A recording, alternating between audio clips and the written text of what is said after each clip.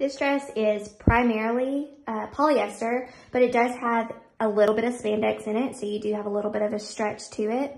It has an underlayer that is rayon, and then it has an elastic band that goes around the skinniest part of your body, making it to where it brings you in really well and complements your body.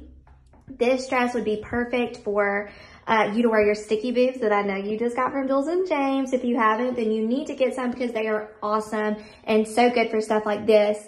Um, it has a halter neckline, so it does have the spaghetti strap that goes through the front of the dress and then also through the back and then the fabric just scrunches up in the front.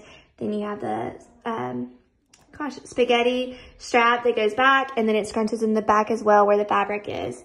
This is a very long dress, so not very long, but a longer short dress is what I mean. It comes past my knees and I'm 5'1", so it's perfect for tall girls and perfect for girls that don't like short dresses. Um, this is gonna be your go-to dress because it's super comfortable and like I said, a really good length. I've paired it with some nude heels because since I am shorter, um, in my opinion, on my body, it looks more complimenting when I am wearing heels since it's a longer dress.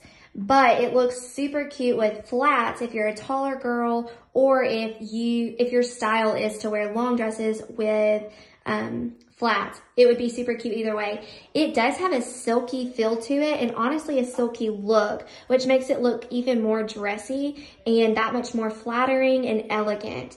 It is a teal, a green teal color with a pretty pattern on it. So it's like a, almost like brush strokes of big polka dots everywhere and then the center is taken out of the polka dots.